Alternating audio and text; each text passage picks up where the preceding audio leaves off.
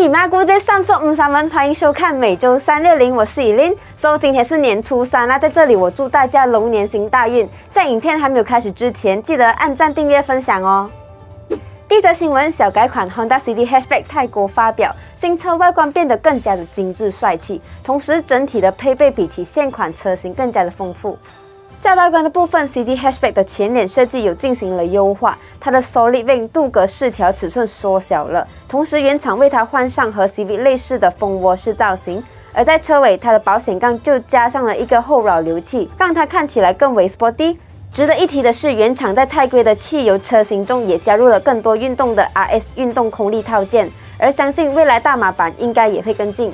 内装的部分，新车用上了全黑的内装设计。而且原厂为小改款车型下放了不少新的配备，它换上新的八寸高清触屏主机，并且支援无线 Android Auto 和 Apple CarPlay 的功能，更为方便你连接手机使用。至于引擎的部分，新车在泰国依然提供了一 l i t e Turbo 及一点五 l i t e Hybrid 两种选项，不过在大马则会是一点五 l i t e IVTEC 自吸引擎。最大马力表现为一百一十九 horsepower，峰值扭力表现为一百四十五牛顿米的，而混动车型则是一点五 L 的 iMMD 混动引擎，最大马力表现为一百零七 horsepower，峰值扭力表现为二百五十三牛顿米的。另外，它的 Honda Sensing 也新增了带 Stop and Go SCC 及前车驶离警示两个功能。那新车目前已经在泰国上市，而预计它也会在今年内来到大马。有朋友也期待这一款车的到来吗？据悉，小改款车型将在近期于泰国市场首发，而它作为 Honda Malaysia 的当家车型之一，相信也会在今年内来到大马市场，并且预计和 CD 一样，可能会加入新的 Petrol Ice 车型，为纯燃油车型加入运动空力套件。不过，详细的细节依然要等到新车在泰国发布后才能够知道。第二则新闻，尼桑2023年大马销量仅一万辆。相比二零二二年降低了二十七点五个 percent，唉，尼桑曾经大马是日系品牌的三强之一，但近年来原厂在本地投放的新车不多，导致销量愈下。目前虽然尼桑在本地有多达六款车型在售，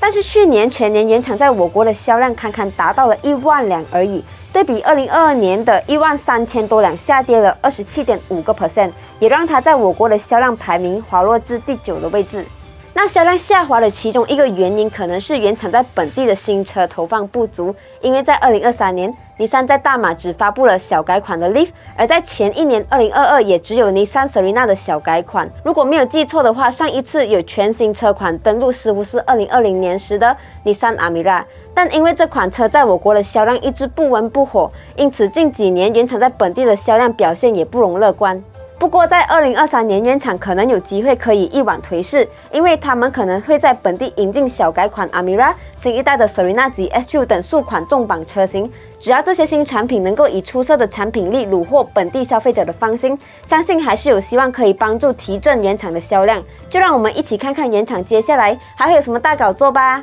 第三则新闻，Volkswagen a t t o n 正式在德国停产，目前仅剩大马及中国还在生产。早在去年就有消息指，因为 Volkswagen a t t o n 的销量不佳，因此原厂决定取消这个车型，将留下空缺，用其他盈利能力更强的车型补上。而近日原厂证明这款车已经正式在德国停产，目前全球仅剩下位于大马及中国的工厂还有在生产这一款车。那阿 t 这款车在全球一共有四个 Volkswagen 工厂进行生产，而这一次停产仅涉及位于德国的 Emden 工厂。至于位于德国 Osnabrück 工厂负责生产 Shooting Brake 旅行版本的工厂，还会继续生产旅行版车型供应给欧洲市场。而位于中国长春的一汽大众工厂及在大马位于 p e g a n 的工厂，则还没有宣布停产轿跑车型。虽然现在这款车已经在德国停产。但是目前 VPCM 暂时还没有公布关于这款车未来的计划。同时，这款车现在依然能在大马官网上售卖。如果你有兴趣在它停产之前把它带回家的话，现在或许就是最好的时机了。第四则新闻，Mazda 确认重新回归转子引擎开发，并将开发符合新世代需求的引擎。在二零一二年 RS 八停产之后，原厂对于转子引擎开发中断了十余年之久，一直到二零二三年，原厂才让转子引擎作为增程式混合动力 REEV 的核心复活。而上个星期，原厂就宣布重组转子引擎开发团队，重新开发新一代的转子引擎。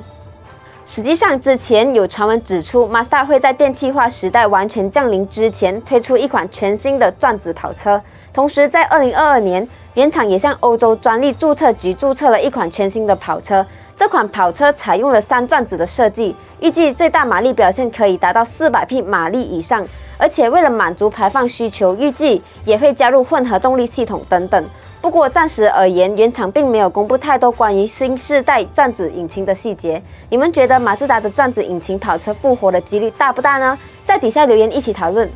第五则新闻：Toyota Corolla Cross 小改款泰国登场。这一次的东南亚版本的 Corolla Cross 终于跟上了日规车型的设计风格。可以看到这款车换上了新的 LED 头灯组，同时在保险杠设计也和现款车型稍有不同。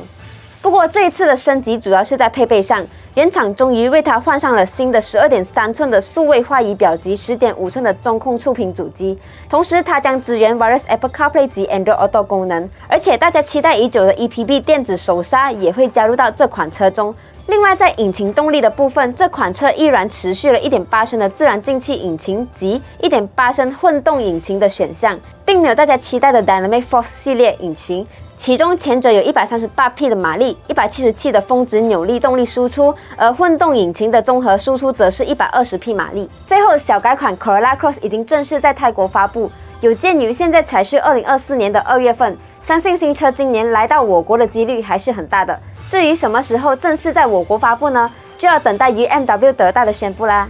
好了，以上就是本期的新闻内容。喜欢这一期的内容，记得按赞、订阅、分享哦。还有还有，再次恭祝大家新年快乐，年年换新车。我们下一个影片再见，拜拜。